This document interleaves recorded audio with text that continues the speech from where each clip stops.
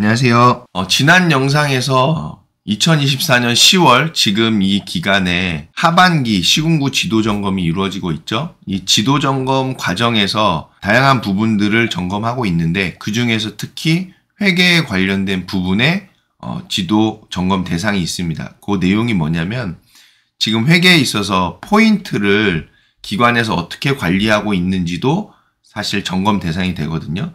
그래서 이 기관에서 지출에 따라 발생하는 포인트를 해마다 지도 점검 때 어, 기관에서 적법하게 이 포인트도 사용하고 있는지 관리하고 있는지를 점검하고 있습니다.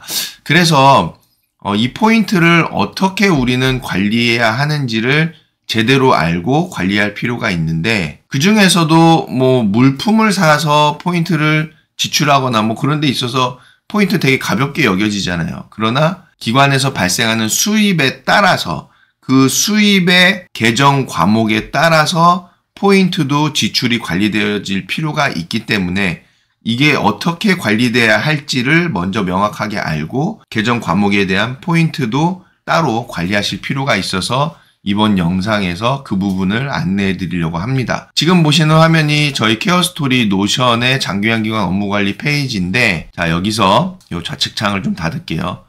쭉 내려오시면은 노무 회계 부분이 있어요. 이렇게 노무 회계 부분 회계 부분에 들어가시면은 제가 회계 내용들을 정리하고 있죠. 자, 그 중에 10월 5일자, 작성일 10월 5일자에 포인트 사용 및 관리법에 대해서 제가 올려놨습니다. 자, 열기를 누르면 오른쪽에서 창이 나오죠. 여기 보시면 전체 페이지로 열기도 누르실 수 있습니다. 그럼 전체 페이지로 나오죠. 자, 이걸 좀 글자를 좀 한번 키워볼게요.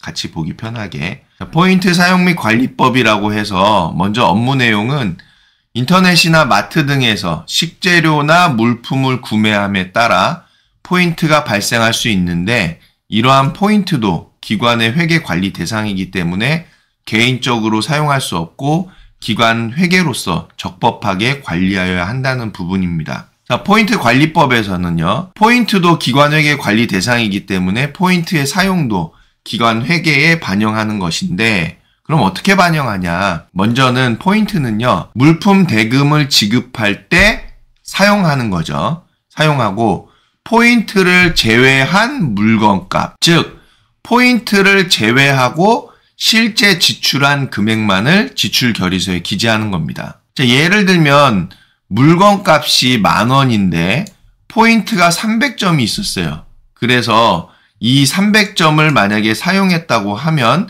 그러면 물건 값으로 9,700원을 지급을 했겠죠. 그럼 지출 결의서에는 지출 대금으로 9,700원을 입력해서 처리하는 겁니다.